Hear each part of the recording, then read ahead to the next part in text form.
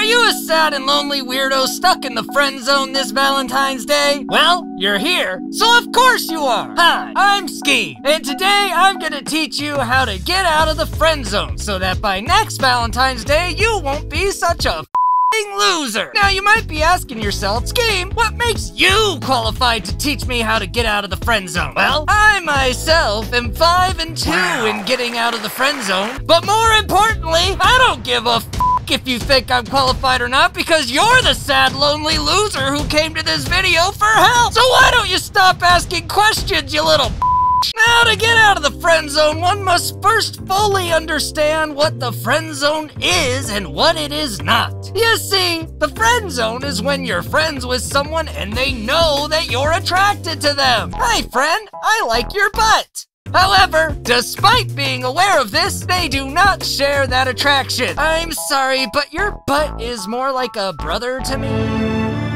The important thing to remember here is that you're not in the friend zone unless the other person actually knows that you're attracted to them and has expressed that they are not attracted to you. If no such conversation has been had, then you're just a ass bitch. Which means you're probably in the friend zone, so you'd better stay tuned. So now that you know whether or not you're in the friend zone, how do you get out of the friend zone? They see your butt as a brother today, but how do you get them to see your butt as a stepbrother or stepsister tomorrow?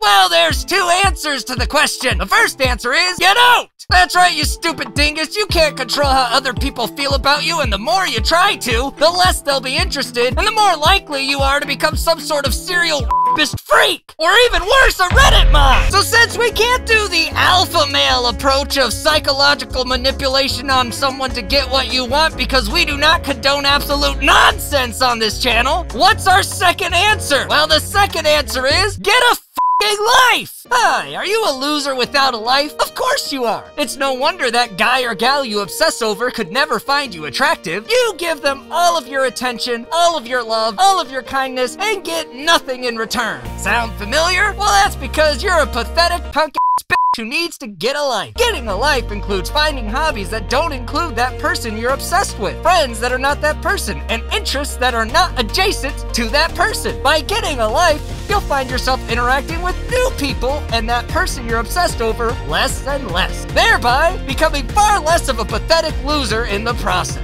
Don't wait, try getting a life today. Now, some of you might be saying, I don't need to get a life, I just need to do some sort of grand romantic gesture so this person will see that we're meant to be. It's ironic that so many people in the friend zone lack empathy. I want you to imagine right now a person, real or fake, that you find hideously unattractive, repulsive even. Now, imagine you're friends with that person, even best friends. They might have a really cool personality, or they're just always around so you just kind of go with it. Now, imagine this person writes you a love song or professes their undying love for you in some big showboating way. Are you suddenly won over? No! You're about to throw up and you're super uncomfortable, but you probably feel too guilty and bad to tell them to f off because they are kind of a good friend and nice to you, but that doesn't mean you want to f them. Do you get it now? If you're in the friend zone, you're that hideous, ugly, horrible thing. So make sure any actions you take reflect an understanding of that role and put yourself in the other person's shoes. If you wouldn't want some ugly, hideous beast to write you a love song or profess their love to you, don't do it to that